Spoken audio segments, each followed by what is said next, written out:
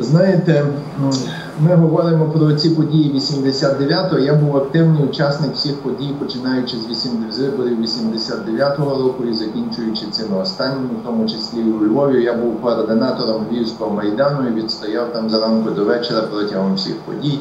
Ну, ось. Я хочу сказати наступне: так, ми ем, час помирання всі ці революційні події вони були дійсно не повністю революційними, тому що вони мали всі ознаки революції, але не було одного. То, що казав колега, не було позитивної імплементації тих всіх подій. Тобто вони всі були не завершені, і потім потім.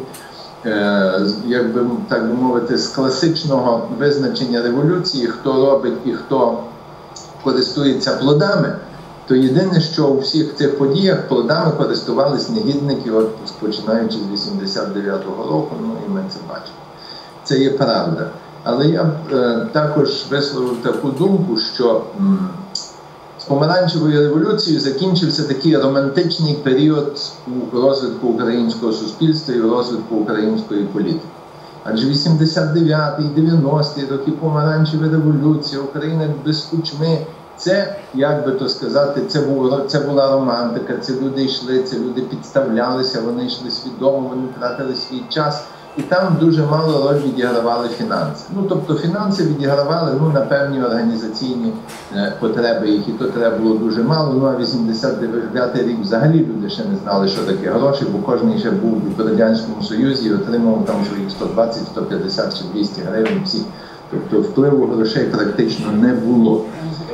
А тепер ми перейшли до політики, яка була описана Макіавелі десь 300 років тому, там 300 з лишнім тих своїх, як є історичні зараз Прошу в е, ні, е, принципи. Ось. І ми бачимо, що зараз ми переходимо до зовсім іншої якості політики, де планує, де панує цинізм і на превеликий жаль величезний популізм. Ми у Львові є свідками приходу до влади, ну так би мовити, на місцевих виборах, нібито націоналістичної сили свободи, але більш популістичної сили я ще не бачив. Ну навіть по вчорашніх подіях в міській раді, але не буду забирати вашу увагу. І це є небезпечно, тому що фактично дій, ну ви коли ви звернетеся до будь-якої газети чи будь-якого е, е, засобу масової інформації, тепер ну принаймні у нас без грошей вже ніхто нічого не опублікує практично. Ну хіба що щось дуже цікаве. Будь-яка згадка про будь-яку партію коштує певну суму, будь-який сюжет на телебаченні коштує певну суму. Ну от приблизно так воно виглядає. Думаю, що і у вас там недалеко до.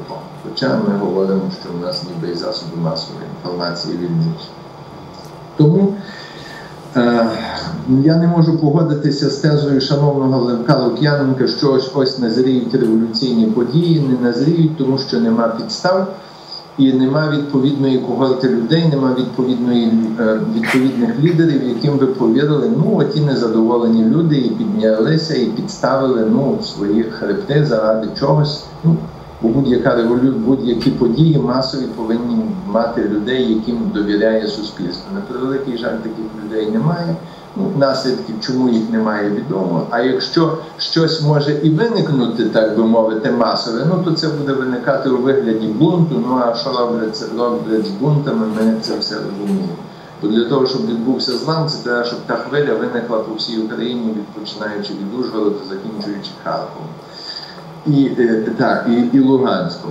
Знаєте, не будьмо такими наївними, що коли ми, я так може кажу хаотично, що якісь, так би мовити, е, ці зміни принесуть ефект типу декларування витрат чи ще щось. Ми колись свято вірили, що декларування доходів і заповнення цих декларацій дасть дуже позитивний ефект. Чим воно закінчилося, це відомо. Ну так само і, і з витратами. А все звелося до ем, оце декларування витрат, звелося зараз до того, що ви для того, щоб обміняти один долар в банку, повинні пред'явити в паспорт. І ми виглядаємо як дикі люди перед всіми туристами, чи благоволюють це видно. І ще одно хотів би сказати, шановний е, е, пан Левко казав, що нація втратила досвід керування. Та вона його не має досвіду керування, тому що ну, не, не, не було ні звідки. І тому ми бачимо, що українець їде за кордон, там працює, гарує тяжко на того робітника, і, ну, на працедавця, на пана, дійсно дуже цінують українських працівників, приїжджає додому, і це треба е, визнати також. Тут же думає, де би щось вкрасти, або де десь щось халявити, щось скалити. Е, І давайте і продукція випущена тим же самим українцям за кордоном і тим же самим українцям на нашому підприємстві є ну, зовсім інакшою. Е, Тому, як на мене, є причина у всіх наших бід це в нашому совковому менталітеті, який ну, формувався багатьма роками. Як змінити? Ну, очевидно, що мабуть, не треба вірити у можливість революційних змін. Це буде довго, але все-таки це буде еволюційно і, мабуть, принцип все-таки еволюційних змін він є довший, він є нудніший, але він є більш якісний. Дякую.